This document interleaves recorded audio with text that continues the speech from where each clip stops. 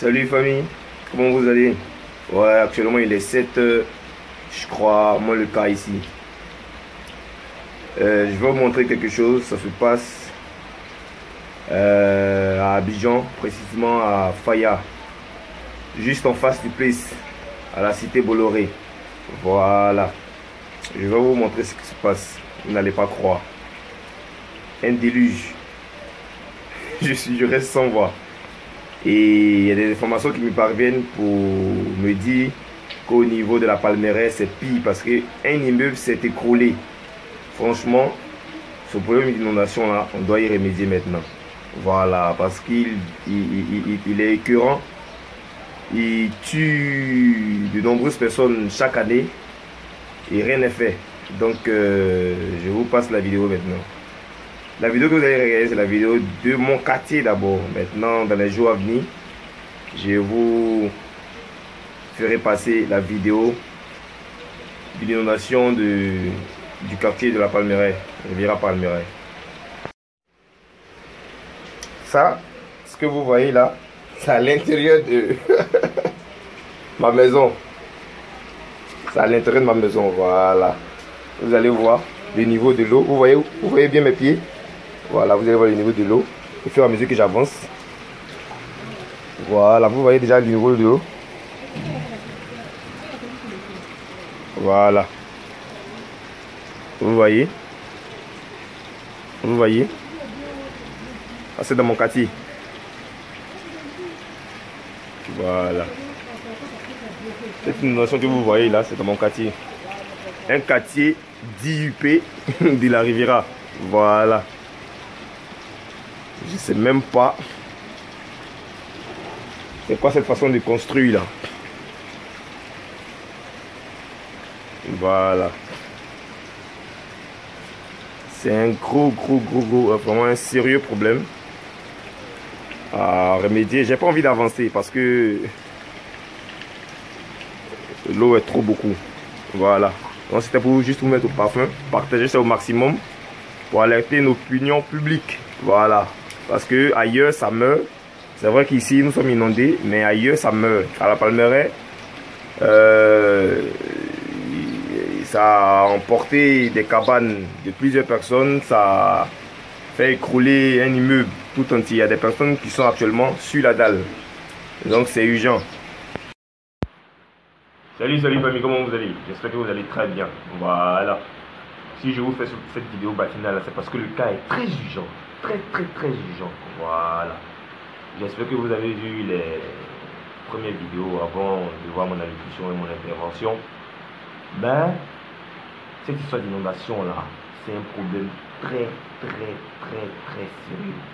Très sérieux. En Côte d'Ivoire ici, on a deux gros problèmes qui nous mettent en retard et qui nous fait et qui nous font beaucoup beaucoup de peine. Les embouteillages et surtout, surtout, surtout, les inondations. Actuellement où je vous parle, ce que vous avez vu dans mon quartier, c'est rien. À la Palmeraie, c'est pire. L'eau est montée jusqu'à au deuxième étage d'un immeuble. Vous comprenez un peu? Vous, vous voyez un peu la gravité des choses? L'eau est montée, l'eau de pluie est montée jusqu'au deuxième étage d'un immeuble. Pire, un immeuble s'est écroulé actuellement, il paraît que tous les habitants de ce immeuble sont sur la dalle. Dieu merci, on ne va pas signifier de mort. Vous aurez les vidéos dans les prochains jours. Mais franchement, le cas est vraiment, vraiment urgent. Je ne sais même pas pourquoi on peut mettre toutes ces constructions anarchiques là.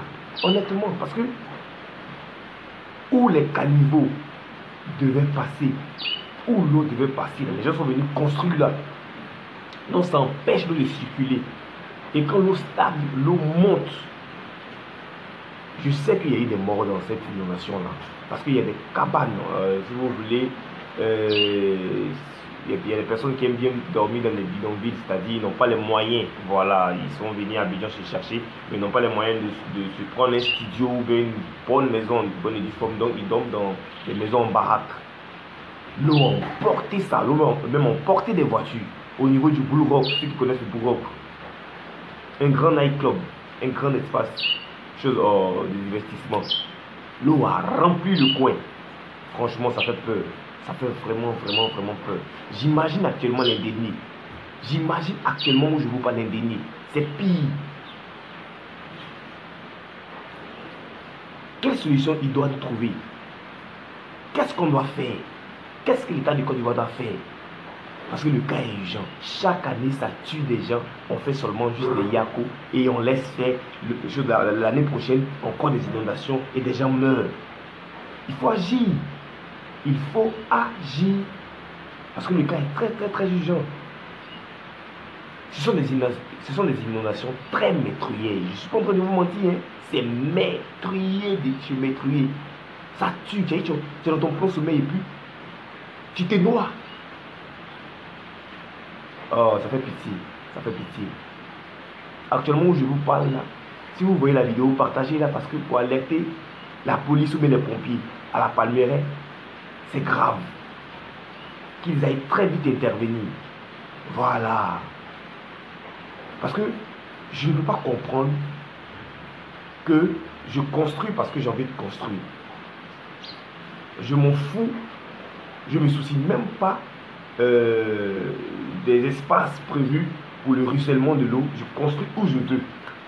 Ça, c'est en Côte d'Ivoire ici, on voit ça. Et chaque année, ça tue des pauvres gens. Et la vie continue. Réglons ça. Réglons ça. chaque année, on va perdre 30 à 50 personnes dans ces, dans, ces histoires d'inondation. Ce sont des vies humaines.